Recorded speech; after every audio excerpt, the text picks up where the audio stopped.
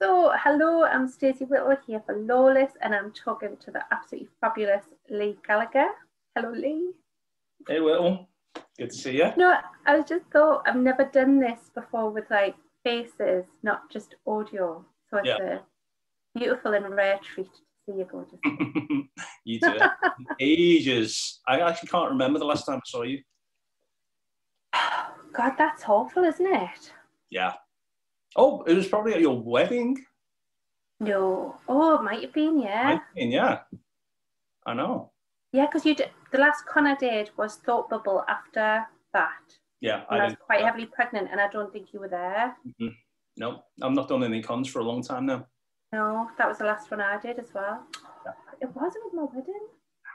That's sad. We have to fix that. I know. I know. So what we're doing today is a sort of quick catch up with you, see what you've been doing through this uh, year of lockdown, what you've got coming out, what you've got coming up. So I don't know where you want to start in that.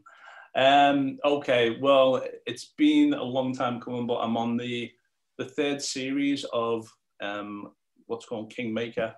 It's the series that I, I work with um, Ian Edginton on. So that is the um, it's pitched as an alien invasion of Lord of the Rings. So the first trade with the first two series came out pretty much a year ago, um, just as the first lockdown was starting. Oh, I remember, didn't it cancel? You had to cancel your sign in. Yeah, all this. I was. I had loads of sign-ins lined up, um, and yeah, we had to cancel them. Well, it was going to be. My, so I would have had a signing in my local um, Worlds Apart. Um, never done one there before. Um, that would have been a very proud moment. And I had one lined up for the Forbidden Planet in London as well, which I've always wanted to do. Um, that's where all the big guys, the big names go to have their signings, and yeah, had to cancel it. Mate. Yeah, I know, I know, but it's it's something I'm. It's like the the book I'm so so proud of. So I just want more people to get it. You know, it just came out. It just came out at the wrong time. We just got screwed with COVID, and obviously, like people have way more important things to do. But it just took them. It was like like a, over a year of my work. You know, um, to the point where I even went back and redid about 13 pages before just for the collection. That Um, doesn't sound like you. um, so yeah, and yeah, even in the build-up to it, I, I taught myself some animation. I did an animated trailer for it, which you'll, you'll be able to find on online somewhere. It's on the Yeah. 2000 AD channel on YouTube. So I'm pretty made up with that. And um, so yeah, I am on the third series right now.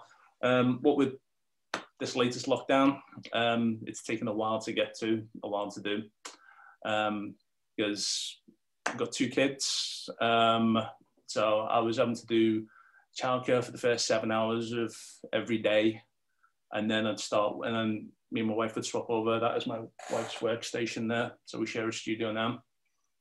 Um, and then yeah, I'd start work about three o'clock and work till about one o'clock in the morning.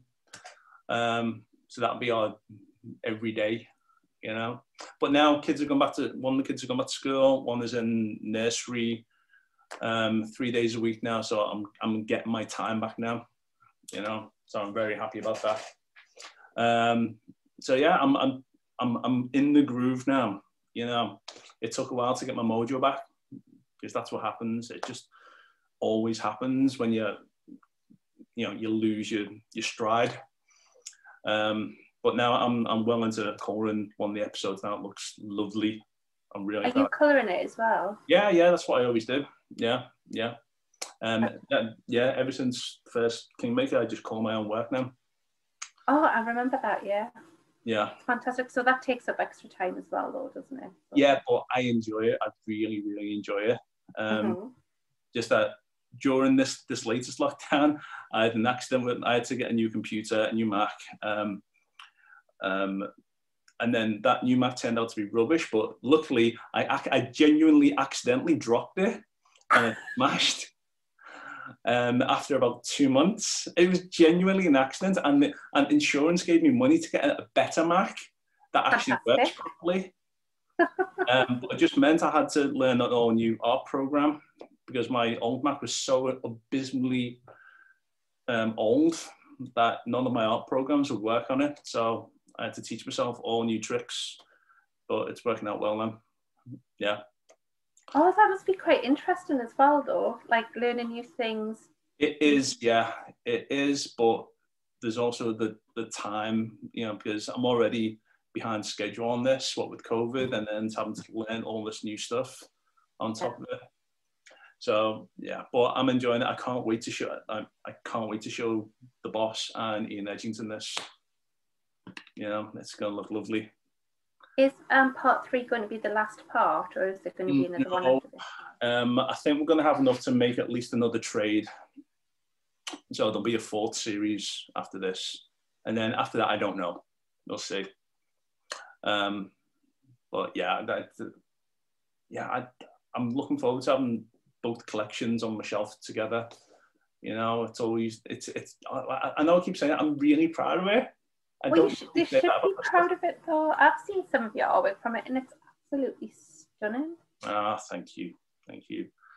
Um, as um, what else am I working on? Um, well, my wife got me a box of 49 cream eggs for Easter. And I've eaten 30, 30, I've actually had 39 in two weeks. I'm really proud of that as well. Um, it's not fair that you're that skinny. I'm not, not skinny. No, I'm literally. I can see the camera there. I on purposely positioned it so you can't see just the man boobs from down below.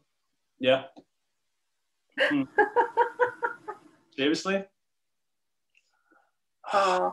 when I've had the last ten or eleven, I'll I'll go on a diet. Yeah. Diets yeah. don't work and they're not good for you, so you shouldn't do that. Yeah. Um, just that I'm, I'm finally coming back to conventions um, in November. So Thought Bubble's coming back in November. So I was down to do it last year, but obviously COVID and all that. Um, so it's just rolled over into this next one now. Um, so I'm looking forward to doing that. I'll be doing sketches and stuff and just sell. I'm gonna get a bunch of kingmakers and sell them and see how that goes. I get to make another, and I get to do another one of those big banner things. Oh yeah, oh, cool. Us artists, we love getting those banner things. Can you re- reuse it, or has it got um, out of date artwork on no, it? No, no, I'm not going to reuse my old ones. Well, that's the thing. That's stupid. The last one I made, I had a, it was like a compilation of all my other work on it. This was like three years ago.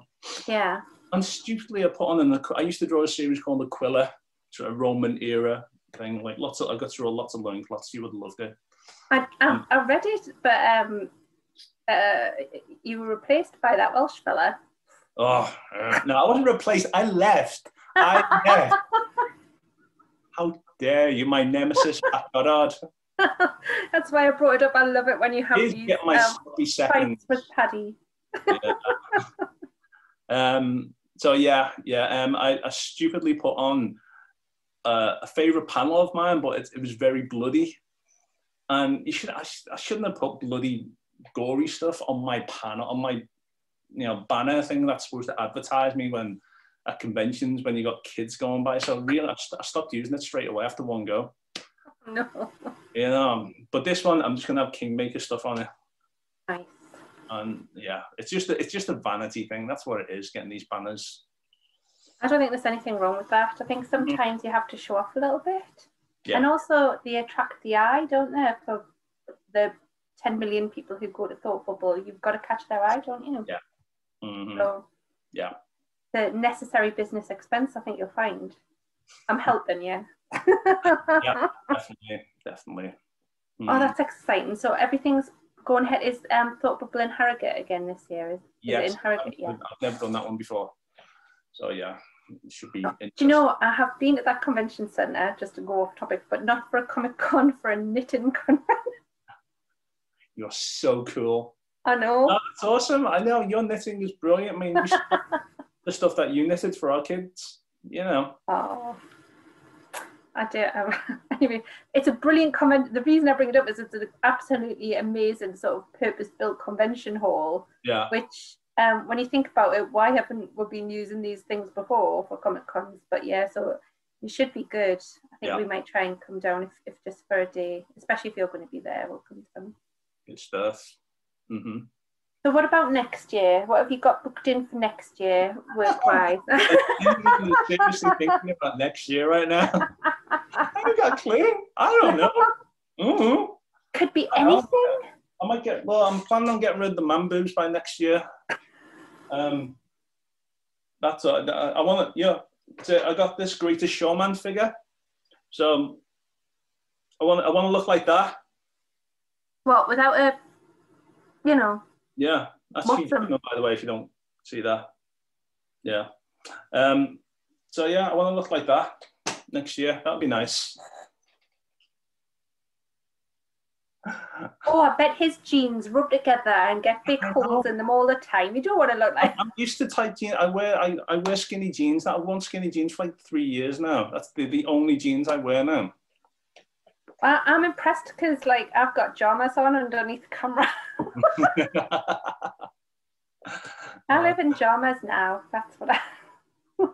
Don't worry, I had nothing wrong with that at all. Most people are during these times.